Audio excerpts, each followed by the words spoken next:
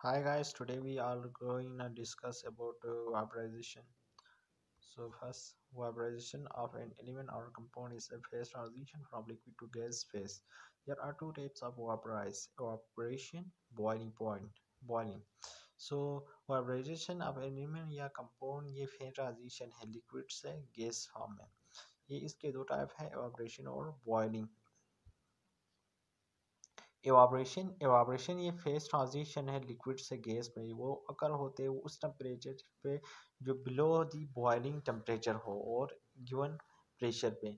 एवाब्रेशन usually अकर होते हैं surface पे। बॉइलिंग बॉइलिंग बॉइलिंग की बात किया जाता है, इसके भी आल्सो फेस ट्रांजिशन है लिक्विड से गैस फॉर्म में गैस फेस में। और ये अकर होते हैं, वो बॉइलिंग या एबो ही बॉइलिंग टेम्परेचर वो टेम्परेचर जिस पर लिक्विड बॉयल होते हैं या उस टेम्परेचर से ज़्यादा टेम्परेचर पे ये अकर होते हैं। और बॉइलिंग पॉइंट ये अगेंस्ट है एवाब्रेशन है, ये ये सरफेस पे अकर नहीं होता, बल्कि ये throughout the liquid take place होता है।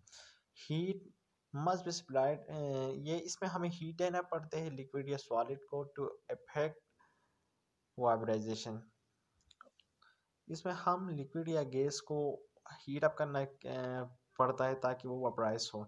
If the surrounding do not supply enough heat अगर उसकी सराउंडिंग से वो इतना हीट एब्जॉर्ब नहीं कर सकता वो उसमें हीट मौजूद नहीं है तो ये सिस्टम अपने आप से वो, वो कोशिश करता है कि वो टेम्परेचर को रिड्यूस करें रिड्यूस करता है।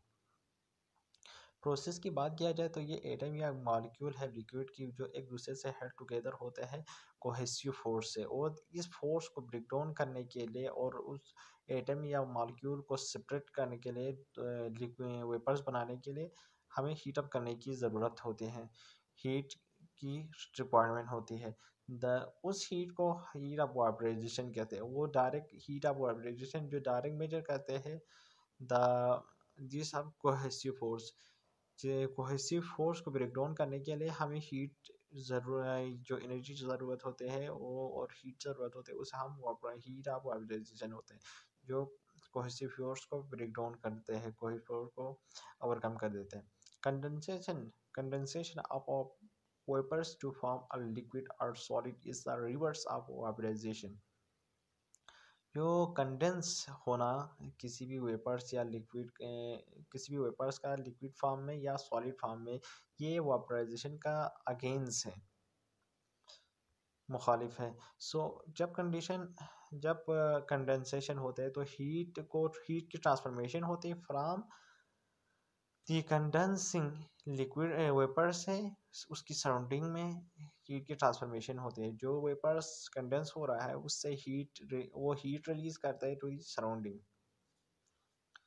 amount of this heat is same as the heat of vaporization जितना अमाउंट ऑफ़ हीट उसने गेन किया था वापराइज होने के लिए, उतना ही वो रिलीज़ कर दे कर देंगे जब वो कंडेंस हो रहा है इनटू लिक्विड और सॉलिड में।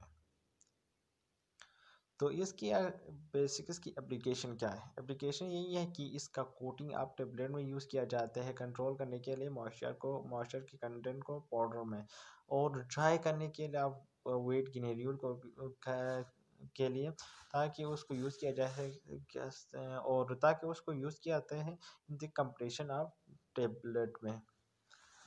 Thank you very much